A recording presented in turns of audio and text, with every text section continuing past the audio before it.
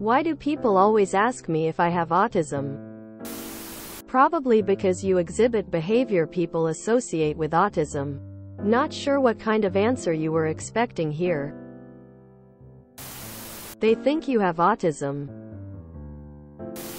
Did you ever ask them why they ask? The fact that you're asking this question to a bunch of strangers who have never met you instead.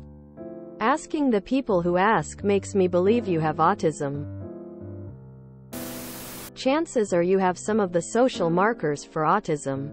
I have a friend that wasn't diagnosed until he was 40. When his wife figured it out, it made all the difference in his life. Truly improved all his relationships. If the people around you think you may have autism, don't be offended by their assessment. Get evaluated. It may just change your life for the better. I have never been diagnosed with autism obviously nor have I been tested for it before. Well yeah if you don't get tested for it you'll never be diagnosed with it. I'm an autistic woman. I'm betting you're being rude without realizing. And they're asking if you're autistic is moderately less rude than calling you an asshole outright. It's rough but framed that way they're probably trying to give you the benefit of the doubt. Ask the people closest to you if this rings true. The accidental rudeness. If everybody thinks you might have autism, there's a good chance you might. Maybe you should consider getting tested.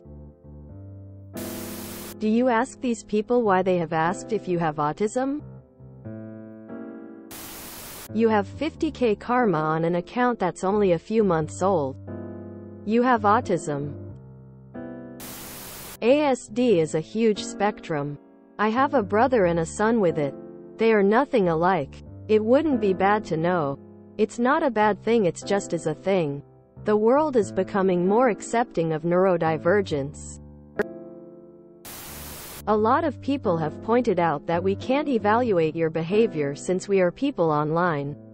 With no examples. When you read those comments what did you think? Hum that's true people can't know me.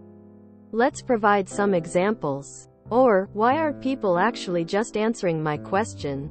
Quote, if it's the second one, it doesn't mean ton have autism. But it does mean you lack empathy to place yourself in another's perspective and that you have Difficulty understanding the second degree, implied message in conversation. Edit to correct an inversion. You would need to be diagnosed by a medical professional to know for sure. But, if you're curious as to why some people are suggesting you have autism, why don't you fill out one of those autism surveys, tests that can found with a quick Google?